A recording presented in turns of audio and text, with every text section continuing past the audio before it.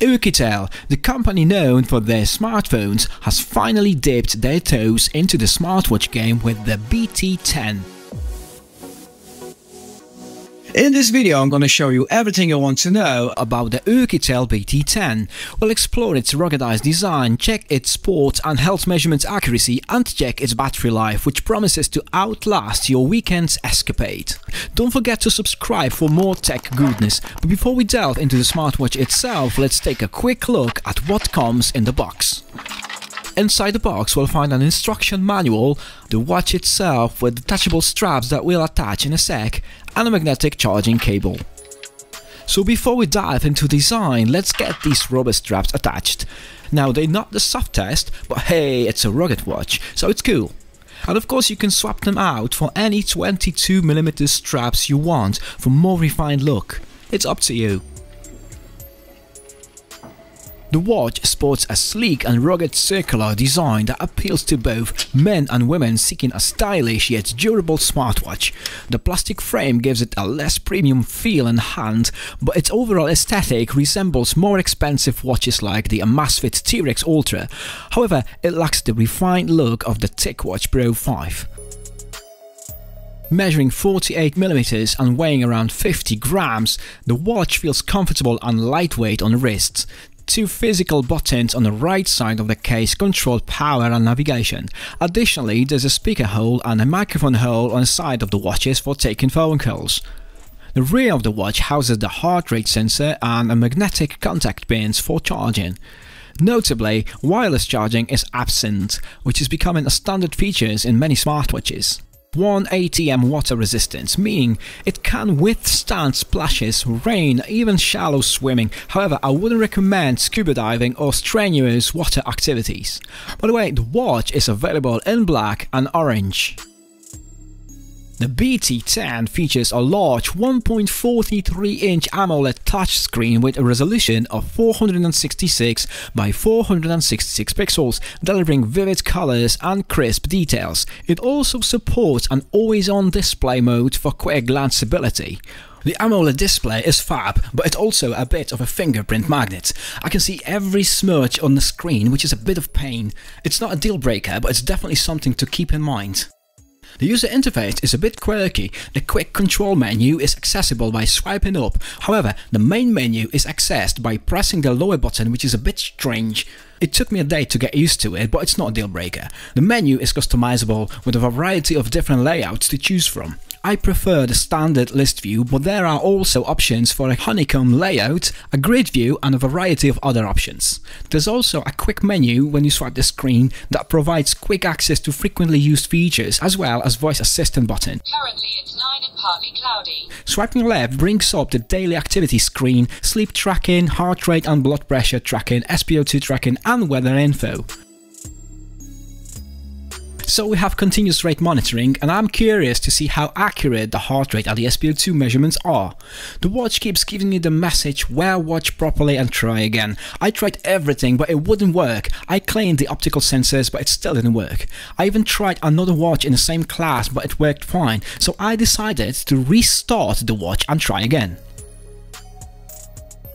There you go, the watch is working properly now. So a quick tip, if your watch keeps giving you a wear watch properly message, just restart it. Okay, let's test it now. And before we carry on, make sure you're subscribed. In the first test, the watch was accurate in measuring my heart rate while I was relaxed, with a reading of 70 BPM, which matched the readings from the pulse oximeter. The SpO2 readings were also very close, with both devices showing 98%. To make things more challenging, I did some press-ups to raise my heart rate. The watch initially indicated around 100 beats per minute, while the oximeter showed 102 BPM. After a few seconds, the readings on both devices stabilized at 97 BPM. This shows that the BT10 is very precise in measuring heart rate even under exertion. The BT10 also has a blood pressure monitoring capabilities which I was skeptical about due to the limitations of optical blood pressure estimation. However, when I compared the watch readings to those of a medical grade blood pressure cuff, I was pleasantly surprised. The watch readings were close to the cuff's readings, with a systolic reading of 130 and a diastolic reading of 87 mm of mercury. While I wouldn't recommend relying on the watch blood pressure readings for medical purposes, it can provide a general overview of your blood pressure trends over time. The sleep tracking feature also utilized the optical senses. I wore the watch to bed for about two weeks and had mixed results. Occasionally, the watch didn't pick up my sleep at all. In some cases, it only recorded a small portion of my sleep.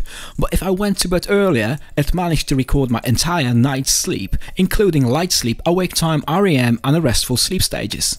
All your health and fitness data is stored and managed by the DAFit app, which you'll need to install on your phone before using the watch. It's available on both iOS and Android, so it's compatible with your phone no matter what platform you're rocking. Once you got the app installed and signed in, simply tap Add Device and select the BT10. The watch will pair with your phone automatically. You can use the watch standalone without the app, but you'll miss on some of its coolest features like real-time notifications, Bluetooth calls, weather updates, and detailed health tracking.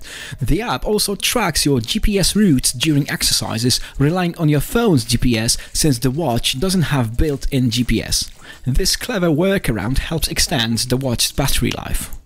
Equipped with over 100 sport modes, the BT10 caters to a wide range of fitness enthusiasts.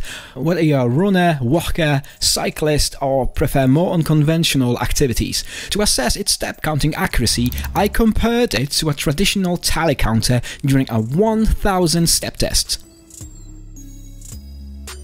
Alright, we've reached 1000 steps. The tally counter says 1000, but the watch is still lagging behind at 917. That's about a 9% discrepancy. Well, that's one test. Let's give it another shot to see if there's any consistency. This time I'll try to vary my stride length and walking pace to simulate real life conditions. We're done with the second test. The tally counter says 1025 and the watch is showing 990. That's a bit better but it's still not perfect. The accuracy for this test is around 96%. I'll need to do more extensive testing to get a more definite assessment but for now I would say it's just okay for casual use. The BT10 packs a bunch of handy features including Bluetooth phone calls, real-time message notifications and music app control. You can even use the voice assistant to control your watch. However, there are some limitations like the music player is not working while in sports mode. All the useful features include a stopwatch, countdown and a find phone feature. And for the ladies, there's even a menstrual cycle tracker built in. The watch has a massive 410 mAh lithium polymer battery that takes over an hour to charge fully.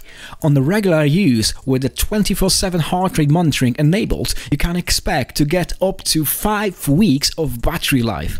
If you enable the always-on display and all the fancy features, the battery life will drop to about 3 weeks. This is still a solid battery life, and the BT10 outperforms many other smartwatches in this price range in this regard. I can fold the battery on this watch, it's easily one of its strongest points, and if you activate the battery saver mode, the watch can even reach the manufacturer's promised 70 days of battery life on a single charge, and that's pretty impressive. So the Oukitel BT10 is a decent smartwatch with a great battery life, good display and a solid build quality. However, its sports tracking could be improved, which places it in the average category. At least it's one of the smartwatches that actually looks good. I hope Oukitel adds more professional looking watch faces, as the lack of options was a major drawback for me. Please Oukitel, do something about it. You can find the BT10 on Amazon worldwide for around 70 British pounds, $79 US or 70 euros depending on your region. Check out the affiliate links in the video description for the best prices and promo deals. You can also scan the QR code on the screen to check it out on Amazon. As a disclosure, we received this watch for free from Oukitel, but we were under no obligation to make this review positive or negative. All the tests and opinions are my own, so you can trust that this is an honest assessment. Thanks for watching. Catch you guys on the next one.